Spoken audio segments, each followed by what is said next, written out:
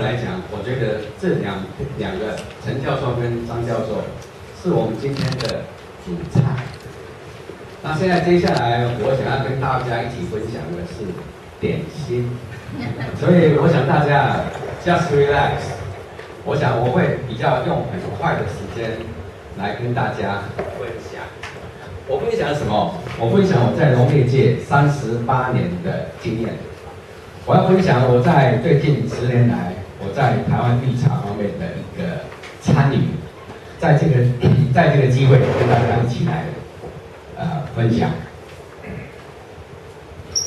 事实上，我要讲的这是一个绿色黄金的故事。这个绿色黄金的故事是要开始跟大家一起分享的时候，我告诉各位，我们是一一棵茶树，可能是一片森林，或者这个一枝茶花。可能是千丝万缕的心向你倾诉，毫无保留的去做，看起来好像很文绉绉的，但是我要告诉各位，这个是茶的味道，茶的这个情况。那么，假如我们来说人类的传统需求是什么？我想大家都知道，食衣住行，这是马斯洛讲的是一个基本的需求。那么，如果是在我们一般的市场价值演进的过程里面，它是一个初级的产品，这是最基本的。但是，当人类的这个这个文明的一直在演进了以后，它这个需求又不一样，需求会增加。比如说马斯洛讲的成就的需求、被肯定的需求，一直到最后自我实现的那个需求，它是不一样的。但是如果以市场的这个 价值的这个演进来看，从最早期的初级产品到后来变成商品的需求，一直到演进到服务的需求，但是呢，服务的需求已经不够了，不够看。现在已经到了一个体验经济时代，消费者他要扮演一个生产者的角色，他在网络上跟生产者 argue，我们到最后会演进到一个叫做演化的需求。所以这个需求当中呢，你可以看得出来。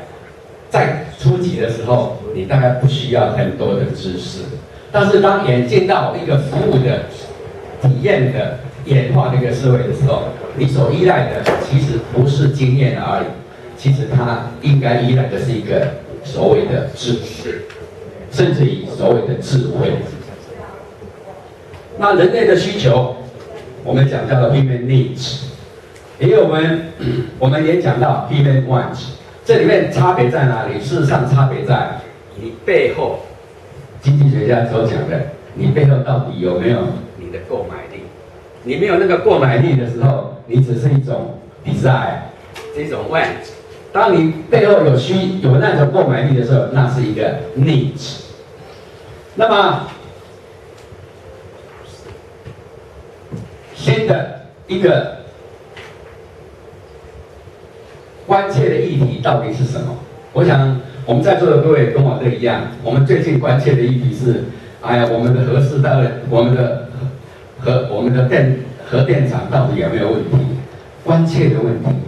那我们从这个关切的问题当中，我们可以引申到来说，我们未来的环境到底是怎么样？所以环境的议题，比如说气候变化，对我们的生态、对我们的环境有没有什么样影响？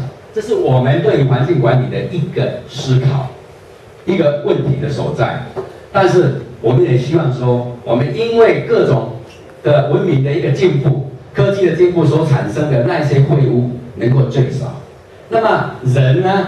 人的关切的议题是什么？我想，我们今天早上所听到这两个这么好的主菜，我们大家都知道，我们人需要的是什么？健康、快乐、幸福。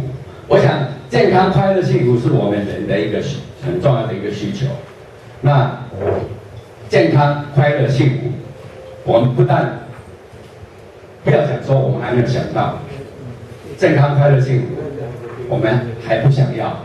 事实上，我们都已经非常的是，它是一辈子的事工，而不是当你要的时候，你才发现说为什么我不知道。所以，当你想要的时候，你别说你没有怎么没有想到。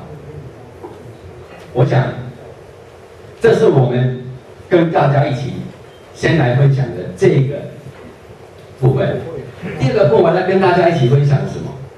全世界有二十亿的人喝茶，二十亿，喝茶是何等大事？喝茶是我们中国人的一种文化，也是一种传统。开门见见的是茶米，有也讲出茶，这个都是我们的一个很重要的一个一个东西。那饮茶是本身是健康的，饮茶本身也是生活的，所以我在这边跟大家讲，饮茶跟生活的品质有非常非常密切的关系。生活品质是什么？生活品质是一个个人在一个文化价值体系当中，你自己对你自己的目标、你的关心、你的关怀的那个感受的程度，这个都是一个所谓的一个生活品质的一个内涵。但是它包含的项目不是只有我刚才讲的目标、关怀、关心，或是你的期望而已。它包含的是你的生理状态。你的健康状态、心理的健康状态，以及包括你的这个个人的信念，还有包括你的这个这个呃想法，还有包括你的这个社会关系环境，这是 WTO 他所讲的有六大层面。我刚才讲的六大层面，这都是跟生活的品质有关。那么茶饮茶为什么跟生活品质有关？我举两个，我对于在我的从事生涯过程当中，我认识的一位。长者，他叫做傅安民傅顾问，他活了八十几岁，他告诉我，他有两个让我非常印象深刻的东西。第一个是什么东西？第一个他说，人啊在世，每个人都有四个口袋，第一个口袋装什么？装钱。第二个口袋装什么？装精力。第三个口袋装的是时间。第四个口袋装的是什么？有钱，他说前面三个口袋很容易就用光，但是最后一个口袋取之不尽用之不竭，叫做有钱。这是第一个，我我会觉得，哎，这个感受非常的深。第二个感受告诉我，他告诉我们，他说啊，人活越老，你所得到的东西、得到的经验、得到的智慧越多。他说，人生有十德，有十个德了哈，十德。心得的德有十德，在这个十德当中啊，他的第一德它叫做什么呢？他的第一德叫做吃德，第二个德叫做睡德，第三个德叫做拉德，也要能吃、能睡、能拉，那是什么？健康嘛。但是你各位想一想，在这三德当中，它跟吃、喝茶有没有、饮茶有没有相关？当然有。你要睡得好。哎，有些茶它可以帮忙你助睡眠，但是你要吃得好，但是你总是不能忘记饭后来一杯好茶。你要要照我的这个经经验，我喝了绿茶以后，我就拉得很顺。他人生的第一层的这个三德，叫做吃睡拉。第二个是第二层的这个心得叫什么？学德，学习的学，学德。第二个叫做做德，第三个叫做做工作的做，第三个叫做赚德。你的吸收很多的新知识，你念书、努力工作、赚钱，然后啊，这个这个东西呢，就是让你有有这样一个很好的一个机会，一个很好的收收获，叫做这个第二层的三德。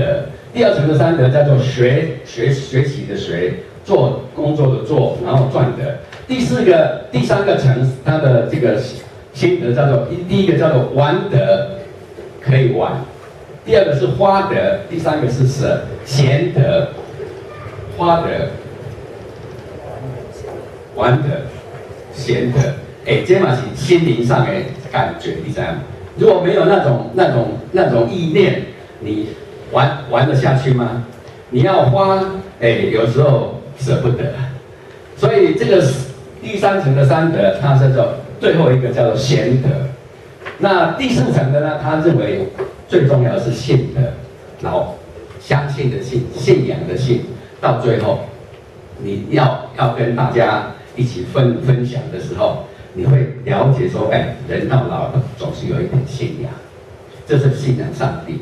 那我想请问，如果以饮茶的最后一个饮这个这个性格来讲，古时候他龙溪这个和尚把中国的这个茶叶这个介绍到日本去的时候，他日本人就已经开始把他的茶跟禅同味同一个位阶，茶禅一味。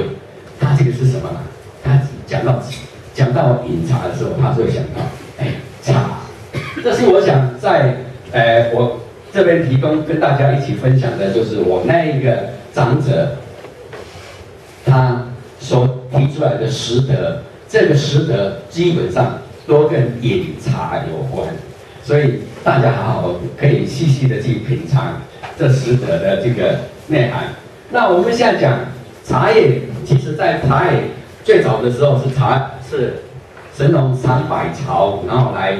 百草，然后来这个试，其中在早期的时候，人类最早的时候，基本上饮茶它是一个治病的。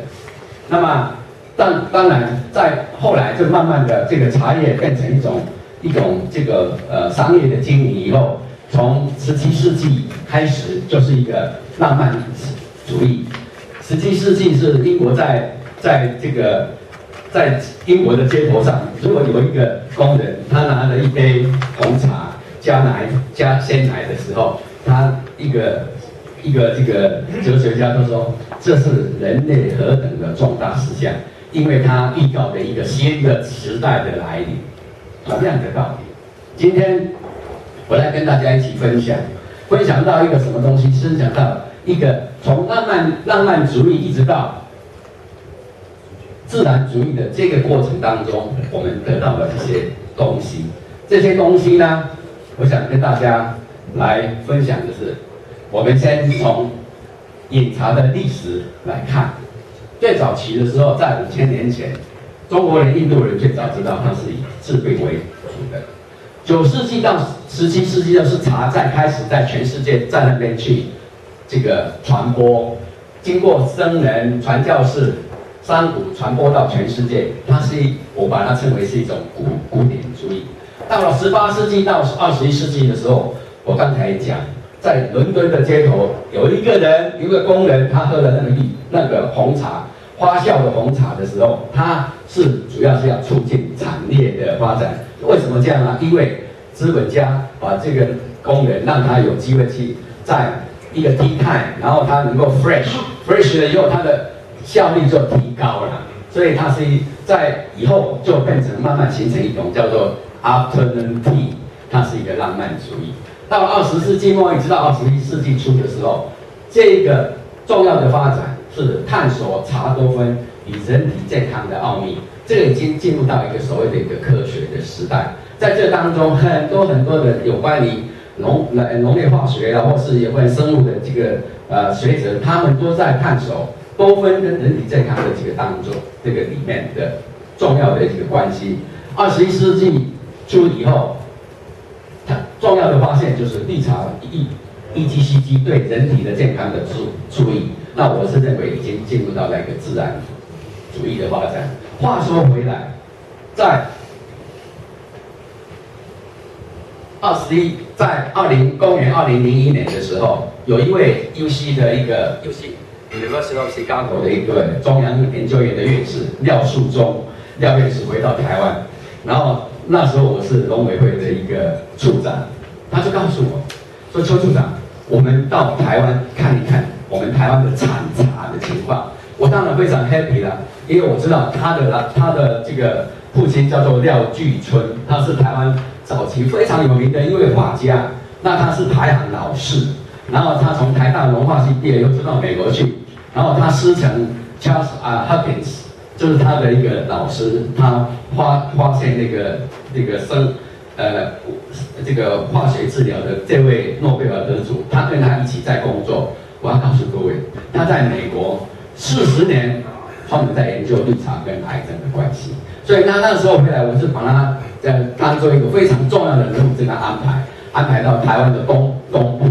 安排到台湾的呃中部去看茶叶的生产，他告诉我，他说哇，邱这个邱先生，你们台湾真的幸福，为什么？我说，他说你们知道吗？你们在是北纬三十度以南，是全世界最难得、最珍贵难得的一个茶叶的生产的一个自然环境。他从台湾拉到喜马拉雅山去，这一一一切通过中国，这个整个一整个这个非常好的这个这个茶叶生产的一个一个一个一个 belt。那他说，但是我们台湾人很奇怪，喝茶的时候都一定要 aroma，一定要闻香。然后他们他说，你们都不知道，在茶叶里面，如果发酵的越高，花这个味道越好的时候，它的 EGCG 是越少的，被发酵掉了，对人体的健康是没有功用。所以我就问他，那用什么方法？他说一一一一一五一十的告诉我，他说最好，其实绿茶的生产的环境最简单，阳光、空气、水就 OK 啦，不要跑到那么高的山上去。那么高的山上去，上上次那个八八水灾的时候，我看到电视上一片的这个这个这个坡地就滑下来，在滑下来的坡地上面，你看到是什么东西？一片茶茶园，因为茶的这个吸水性不高，所以一下子就下来。所以他说，为了台湾的水土保持，也为了台湾国民的健康，他说邱邱永忠，你有没有兴趣？我们来共同来推动绿茶。因此。七八年来，我是最心仪这个台湾绿茶的一个推广。今天各位在桌子上的这样的一个杯子，也是我在跟廖廖院士跟这个跟我的同学一起合作把它弄出来的。所以在这边呢，我要跟各位讲一一油绿油精，其实这是一个绿色黄金的故事。从刚才我们讲的那个绿茶饮茶的简史里面当中，你就会看得出来。十七世纪、十八世纪是一个 turning point，十十七世纪、十八世纪一个古茶古茶仙跟现代茶仙的一个交界的地方。古茶仙是谁？是唐代的那个叫做茶陆陆羽，大家可以知道，他是一个很很有名的一个茶仙。但是后来到到了这个十七、十八世纪以后，其实中国那时候是全世界最有名的绿茶茶叶的一个一个王国。那么这个这个王国啊，被英国人看到，英国人非常的这个嫉妒，也非常的想要来取得这种茶叶的东西。但是中国那时候是大大清时代，他不给他，他到后来，英国人用什么方法？用偷的，用用骗的，他用鸦片跟中国人分开，中国这个这个交换，鸦片是什么？我们称为它叫做。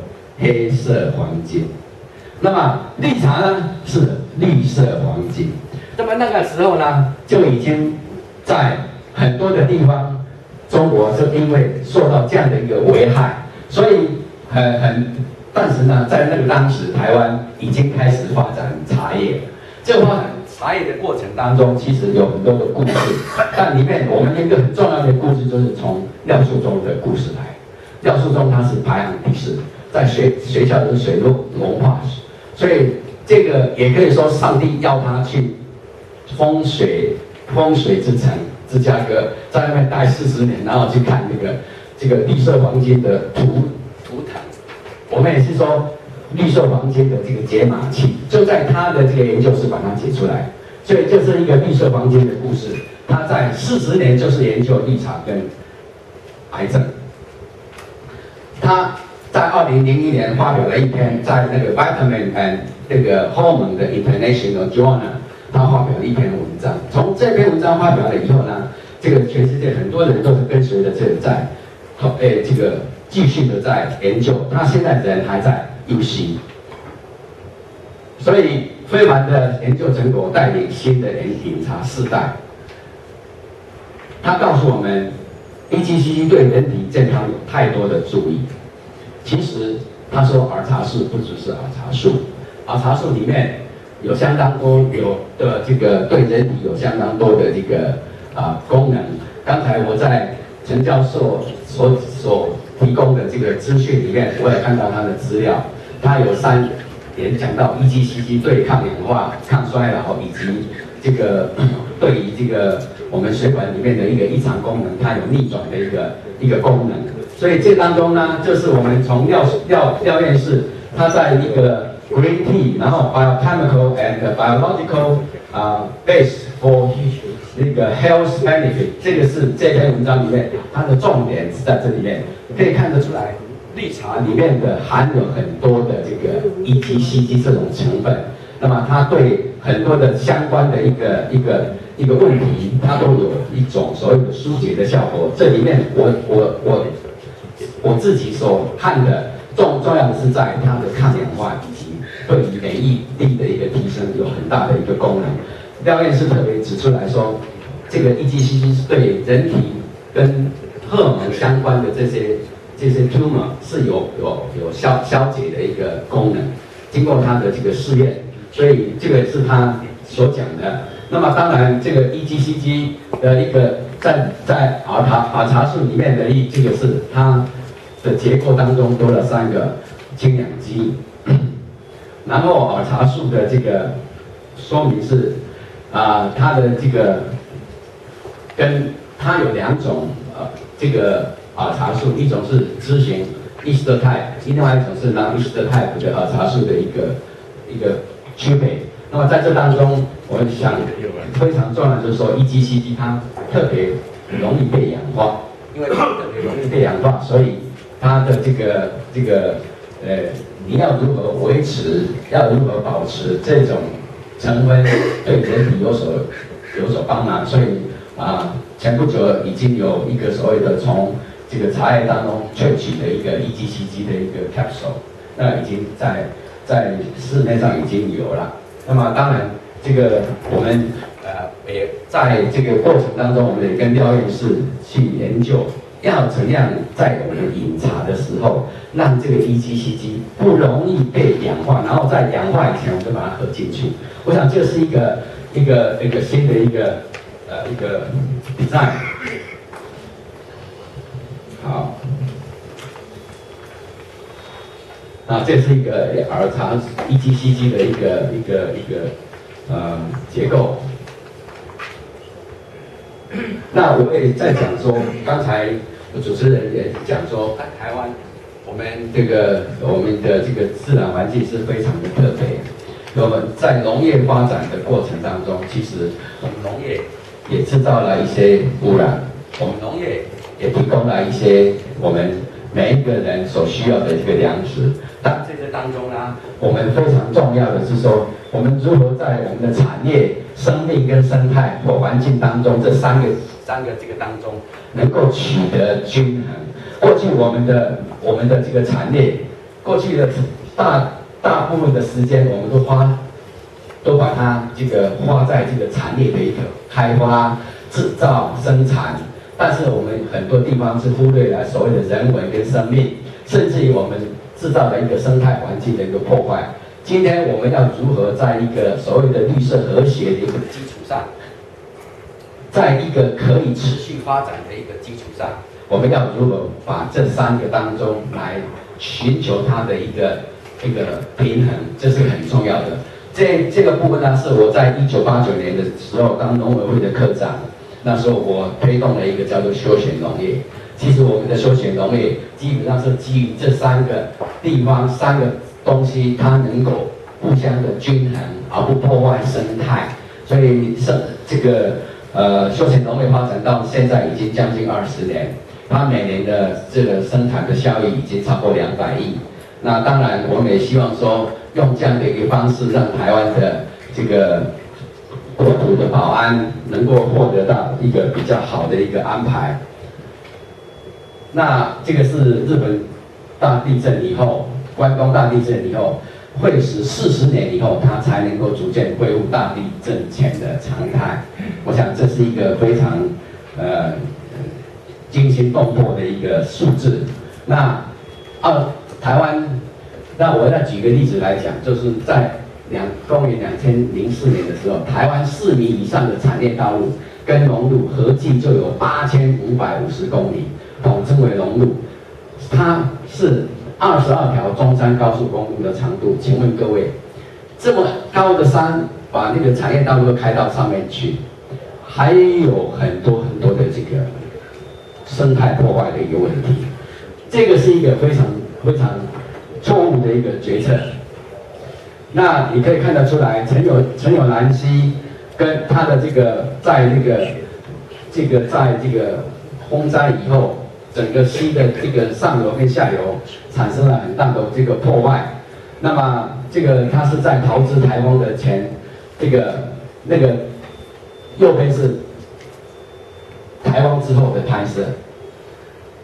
那我想另外一个我要跟各位分享的是说，台湾在海拔五百公尺以上的山地，农业的产值两千年估计的是两百二十亿元，维持坡地发展，中央政府每年直接拨入的约两百亿元，包含水土保持、森林、林、治山防洪、部落设施等等，合计起来一年投入两百亿，但是呢，一年因为产产在坡地农业所增加出来的生产的产值只有两百二十亿，更何况这个灾害是越来越厉害，所以将来在中央政府每年投入的绝对是超过两百两百亿，所以因此在两两者相比之下，我们可以看得出来，它山坡地农山坡地的这个农业是不符成本的，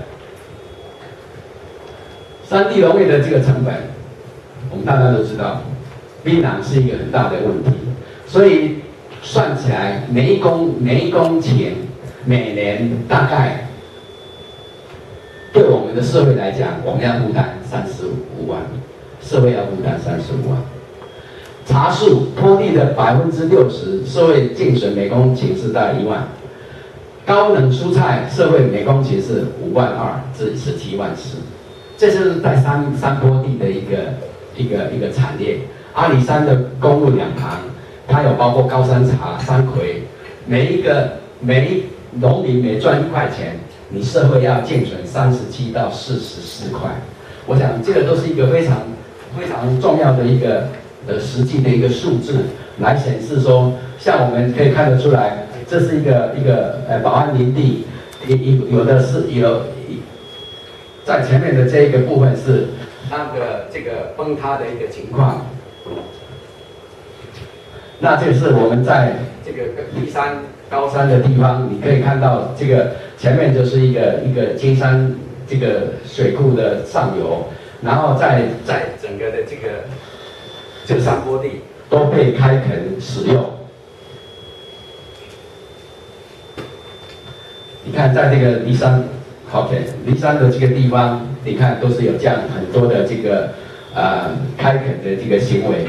那两个地方，这个实验林它可以，呃，用来造林，跟它开垦的时候所产生的这个问题非常的多。那这个有有一些这个台风造成了很多的这个灾害，很多的断流，对于呃人民生的这个危害也是很大。